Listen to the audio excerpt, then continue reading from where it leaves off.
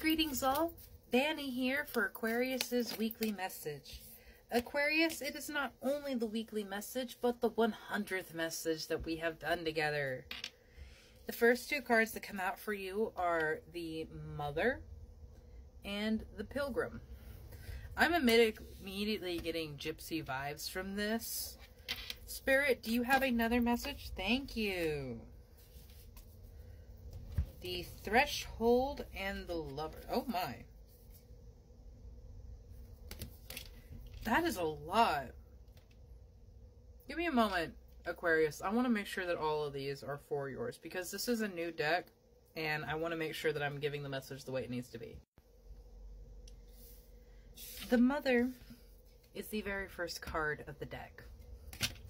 She is the balance of the divine feminine energy, the light and the dark of it both. It's described in the book the mother both nurtures and prohibits growth. She gives yet clings. She creates yet restricts. Amidst this complex energy, the mother holds the key to the eternal challenge of love. The Pilgrim and the Threshold card share an image and meaning of a necessary change that is needing to be undertaken right now. And that is why the mother has come out for you, Aquarius. Because a mother never wants to see their child hurt. Even though they know that that is how they grow, that is how they develop, they still want to cradle them and keep them safe in a little bubble wrap. But that is not where they become their greatest and highest.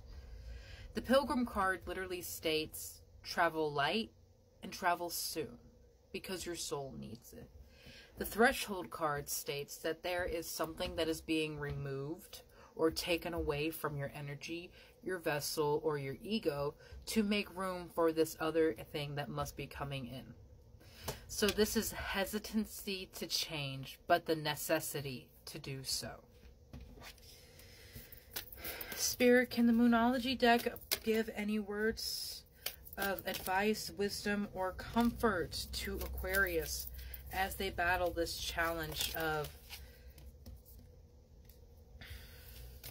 their new beginning, their new identity, challenging safety over security. You have a personal issue is within reach.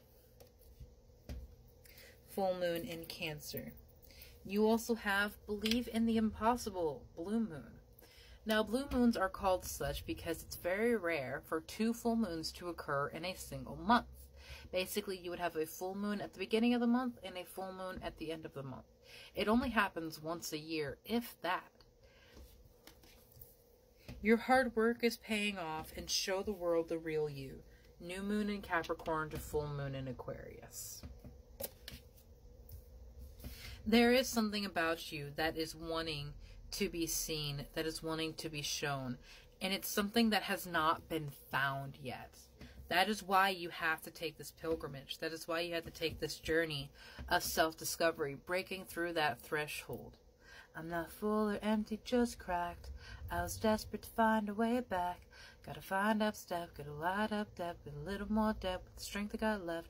Cause a little whisper in your ears telling me the change is near. And I can see a fast approaching sign and I can break out every line. It's telling me that it's almost my time. It is almost your time. And I would say that it is to discover who and what you are, what you want. The priestess embody. I am the embodiment of the divine feminine, light and dark. And the darkness of the divine feminine isn't something to be afraid of. We are all born out of darkness of our mother's womb. That is where we are most cradled and held. That is where we are able to be reborn and recreated. Our vessel is formed. The Cosmic Enchantress, wishcraft, I tracked a steady flow of abundance. Wishcraft is the law of attraction. Mentality shapes reality. And there is quite the shifting of mentality here because I feel this helicopter energy that this mother has done has prevented you from growing forth and breaking out of that nest, as it were.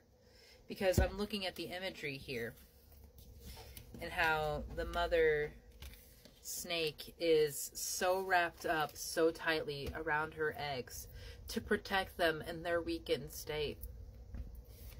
But they're not weak anymore. And you're not weak anymore. And that same nest that you grew up in is now a confinement. And you are at a threshold where you either need to go or just not.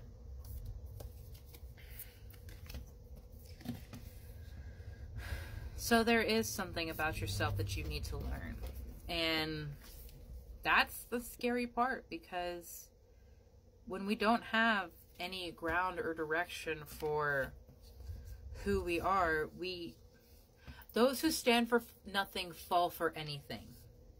We live more in naivety and bliss because we don't know the hardships or the struggles that we have had to go through. You have birth, the universal midwife. I birth fruitful and sacred assignments, as well as the oracle forecast. I am the oracle. My intuitive insight flows freely. Being a mother or being a parent in general might be something that's very important for you right now. And I do want to speak because this is such heavy divine feminine energy.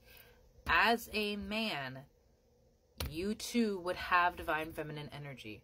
As a woman, I have divine masculine energy and have in fact leaned more into that in my life than my divine feminine. Because divine masculine energy is very go get 'em, ambitious, big headed kind of ego mentality. Divine feminine is a lot more submissive, withdrawn, and caring. And in a defensive situation, you lean more towards the divine masculine because you feel more empowered but it is truly the power of the divine feminine that is the greatest. It is the power of creation. It is the power of rebirth, care, and compassion. So, this is what I want you to pour over yourself right now, Aquarius. To break through that threshold, to break through that mirage in that cage that we have either put ourselves in or that we have been in for a very long time. Because it's not like you haven't been doing work. It's not like you haven't been trying and looking around and seeing where am I being pulled to? What is calling to me?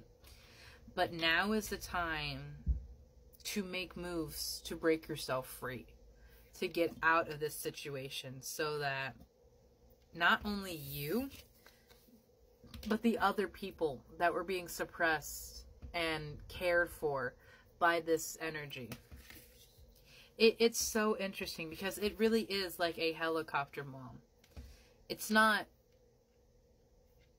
you're not stunting your own growth out of a lack of love for yourself. It's fear that you're going to get hurt, that you're not strong enough, that you're not smart enough, that there is something more you need to do before you get somewhere. Well, my love, you're not ready until you have to be. You're not prepared until you find out if you're you're you're it you're in it. There will never be a perfect moment in time where you're given the go ahead to go after your dreams. You have to follow your heart where it is leading you day to day, moment to moment, and find your passion, find your your drive and your shine in this world. And it might be in creation, it might be in love and compassion, it might be in some form of therapy. It might just be you being a little drummer in the subway. Whatever your heart is pulling you towards, please listen to it. And please understand it will never sound like anxiety. Have a beautiful day, Aquarius.